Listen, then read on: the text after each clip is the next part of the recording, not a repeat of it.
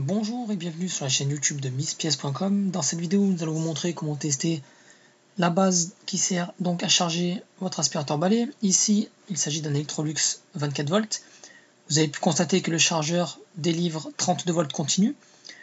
Branchez donc votre chargeur secteur sur une prise. Prenez votre testeur en mode voltmètre continu et venez mettre vos pointes de touche sur les deux lamelles faisant contact avec l'aspirateur balai. Vous devrez alors relever une valeur supérieure ou égale à celle inscrite sur le chargeur. Si tel est le cas, votre chargeur et votre base sont conformes.